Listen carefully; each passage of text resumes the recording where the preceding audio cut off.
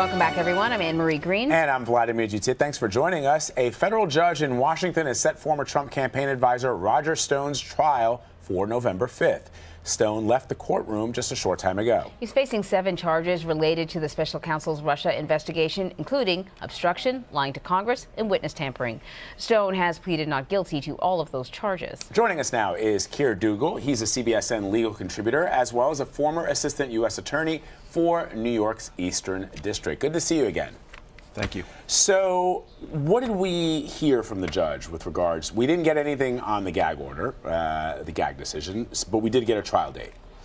Well, I think the really good news for Mr. Stone is the what you just reported that he walked out of the courtroom. Yeah. Mm. Um, I think that's probably the the top takeaway here. Uh, I think we're all still trying to figure out exactly what may or may not have occurred with respect to the gag order in the courtroom.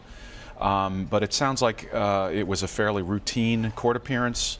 Um, these are typical scheduling matters, uh, lining up everybody's schedule to set a trial date. Mm. In regards to the gag order, part of the concern was this book that he has already written, but it's getting sort of a, a it's, it's, getting a, sort of a rewrite, if you will.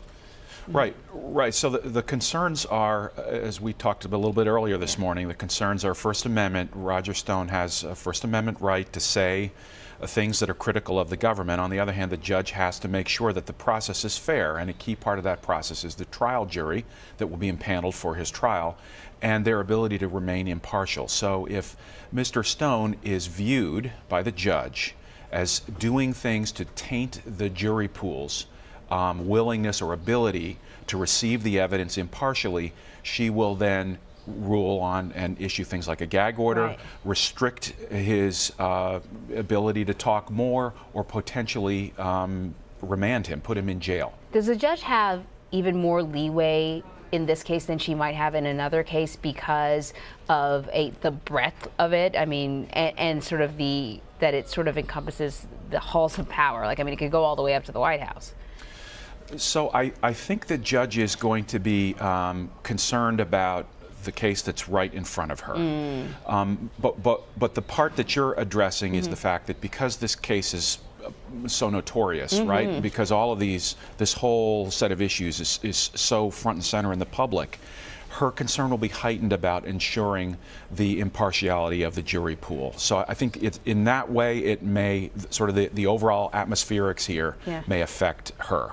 Uh, one interesting note, this comes from Clare Hymes, our reporter who was in the courtroom. Uh, Jenny uh, Rhee, Jeannie Rhee, the prosecutor for the government, brought some information to light regarding that book uh, that was being, I guess, reprinted, um, and that perhaps Mr. Stone had had some communications with the publisher. Uh, the prosecutor saying that at a minimum, the record should reflect that the information was known to the defendant, um, and uh, the judge seemed to indicate that that there was something that she needed to continue to review. And, and what's sort of significant about that note, this note here, is that it says on March 11th, Roger Stone or his attorney submitted something to the judge saying that those conversations never happened, right. but they were providing documentation that indicates, yeah, they were in contact so with his publisher. Yeah. So um, where there's a, a, dispute over a material fact, first of all, the judge has got to decide whether this is important. Mm -mm. If the judge does decide this is important uh, uh, with respect to how she wants to set bail or, or adjust, perhaps adjust bail for Mr. Manafort. She'll hold a hearing. Uh, she can order a hearing where evidence will be taken on this exact point of mm. who said what to whom when to the publisher or not. And if it turns out that, um, that somebody has been untruthful, there, I would assume there would be consequences for uh, whoever is pushing forward an untruthful narrative. What could that consequence be? Say it was just his attorney. Um, uh, well, that would put the judge in a little bit of a difficult spot. Uh -huh. um, but, you know, the attorney is the agent of the client, mm -hmm. so the consequences, um, the, the risk there is the consequences would flow to the client, right. even though the attorney is doing whatever is improper. Right. Hmm. All right. Uh, so November 5th, that's the date of the trial. Keir Dougall, always great to have you, my friend. Thank you. Thank you.